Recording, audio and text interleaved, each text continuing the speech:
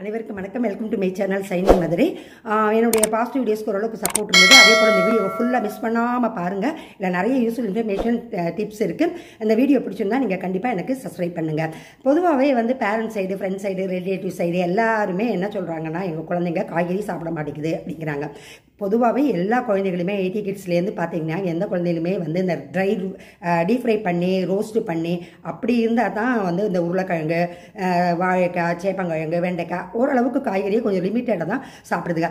Even இந்த sixty கிட்ஸில் இருந்த நான் கூட காய்கறி வந்து சின்ன குழந்தையாக இருக்கிறப்ப அவ்வளோவா சாப்பிட மாட்டேன்.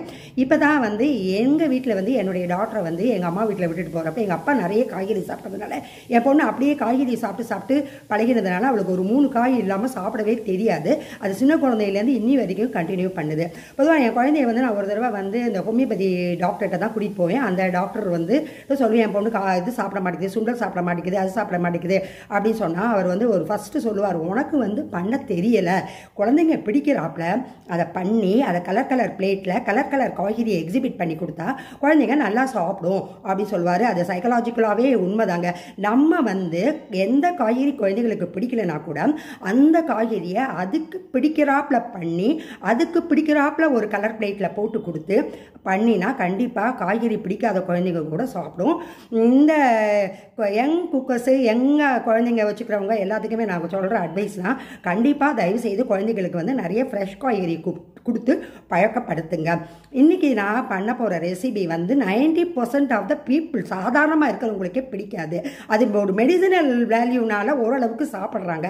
ஆனால் அந்த காய்கறி வந்து பாவக்காய் அந்த பாவக்காயை வந்து நம்ம வந்து என்னுடைய பாணியில் வந்து எல்லாத்துக்கும் பிடிக்கிறாப்பில் நான் வந்து ஒரு டிஷ் பண்ணி காமிக்கிறேன்.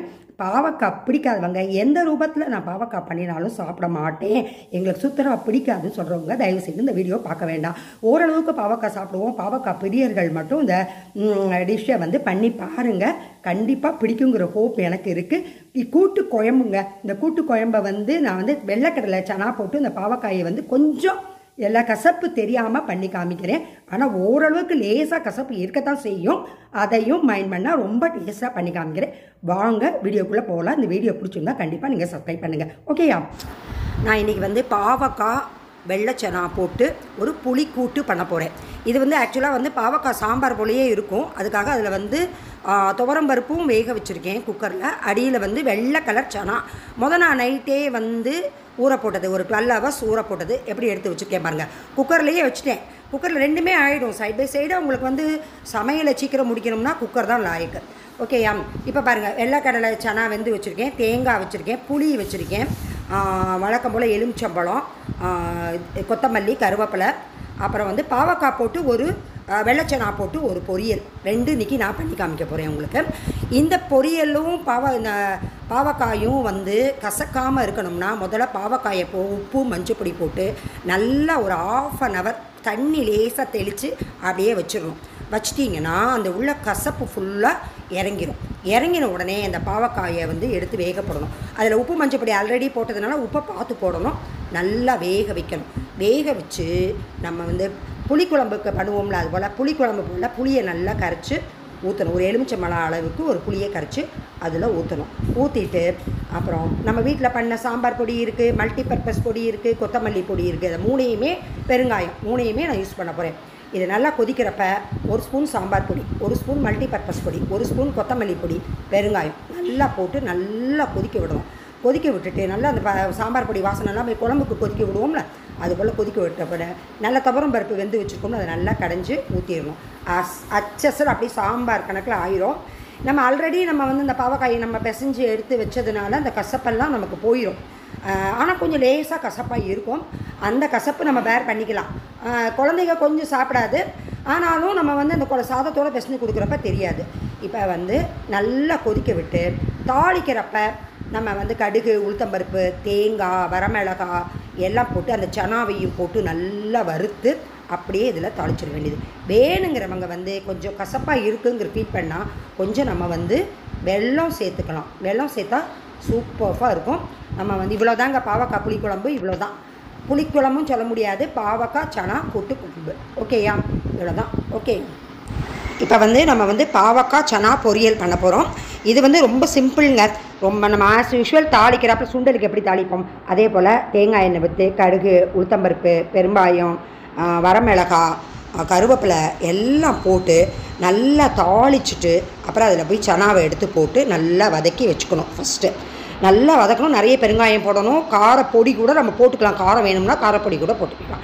சைட் பை சைடாக நான் வந்து பாவக்காயை வந்து இண்டக்ஷன் ஸ்டவ்வில் லேசாக புளி தண்ணி விட்டு அதாவது அந்த புளிக்குழம்புக்கு கரைச்சி நம்ம புளி விட்டோம் பார்த்தீங்களா அதே புளியவே நம்ம யூஸ் பண்ணிக்கலாம். கொஞ்சம் தண்ணியாக கரைச்சி வேக வை- உப்பு மஞ்சப்படி போட்டு வேக வச்சுருக்கேன். அதையும் இதில் போட்டு நல்லா அந்த மல்டிபர்பஸ் பொடி இதுக்கு கண்டிப்பாக போட்டிங்கன்னா சூப்பராக இருக்கும். இதுக்கு வெங்காயம் வெள்ளைப்பூடு எதுவுமே தேவை கிடையாது. ஒன்லி மல்டிபர்பஸ் பொடி. இதையும் போட்டு நல்லா வதக்கி தேங்காய் நல்லா ஒரு கப் தேங்காய் போட்டு நல்லா ரெண்டு ஸ்பூன் நாட்டு சக்கரை போட்டுட்டிங்கன்னா சுத்தரவாக கசப்பு இருக்காதுங்க. சின்ன குழந்தைங்க ஸ்நாக்ஸ் கணக்கில் கண்டிப்பாக சாப்பிடும். இதெல்லாம் நீங்கள் வந்து சின்ன குழந்தைங்களுக்கு வந்து ஆரம்பத்துலேருந்தே கொடுத்து பழக்கிடணும். பழக்கிட்டிங்கன்னா இந்த பொரியல் வந்து கா எப்போனாலும் அதுங்க சாப்பிடும். டக்குன்னு ஒரு ஸ்நாக்ஸ் இல்லைன்னா கூட நீங்கள் டக்குன்னு இந்த சுண்டலோட பாவக்காயும் சேர்த்து கொடுத்துடலாம். கொஞ்சம் கூட கசக்காது. ஏன்னா இனிப்பும் சேர்ந்துருக்கு. இதில் வந்து கடைசியில் வந்து நம்ம கொஞ்சம் புளிப்பு வேணும்னா ஆஃப் லெமன் புளிஞ்சிக்கலாம் ஆஃப் லெமன் புளிஞ்சிட்டு அப்படியே வந்து கொத்தமல்லி தலையை போட்டு க அப்படியே ஆஃப் பண்ணிட வேண்டியதான் இதுதான் பாவக்காய் சனா பொரியல். இதாங்க இன்றைக்கி எங்கள் வீட்டு சண்டே ஸ்பெஷல் இதாங்க எங்களுடைய டிஷ்ஷு ஆக்சுவலாக பாவக்காய் புளி கூட்டு பாவக்காய் கூட்டிலே குழம்பும் கலந்துருக்கிறதுனால நமக்கு வந்து தனியாக டிஷ்ஷு பண்ண வேண்டியதில்லை. இன்றைக்கி யூடியூபுக்காக ஸ்பெஷலாக இந்த பாவக்காய் வெள்ளக்கடலை சனா பண்ணிங்க. இதை வந்து நான் வந்து எனக்கு ரொம்ப பாவக்காய் ரொம்ப பிடிக்கும்னால நான் அப்படியே ஸ்நாக்ஸ் கணக்கு கூட சாப்பிடுவேன். வெறும் மோர் சாதம் வடித்து வச்சாச்சு.